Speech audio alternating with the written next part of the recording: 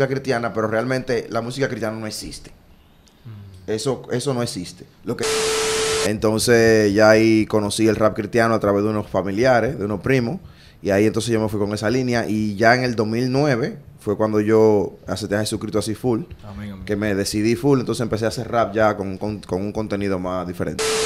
No tuviste temor, no sufriste mucha, mucha Claro que sí, eh, claro que sí. Nosotros, por ejemplo, no se nos aceptaba en todos los lugares.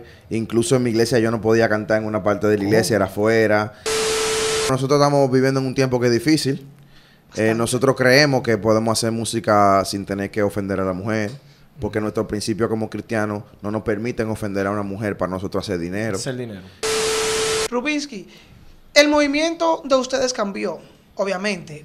¿En qué punto y quién fue quien, o sea, como catapultó eso, que, que abrió las puertas para a- a- entender? Como el No. padre del rap cristiano, algo que tú dices. o- Bueno, Pero se podría decir que los artistas eh, cristianos o de música urbana cristiana más importantes son dominicanos aquí en Latinoamérica.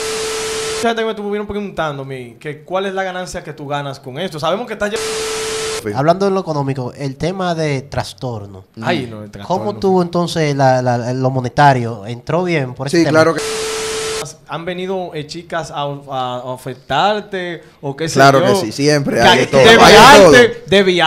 Hay todo, hay de todo, y uno se expone. No son chicas, Y uno se expone. Diablo. Mira, uno, mira, como ser humano está expuesto, al igual que todo el mundo, a tener su- su- sus propuestas.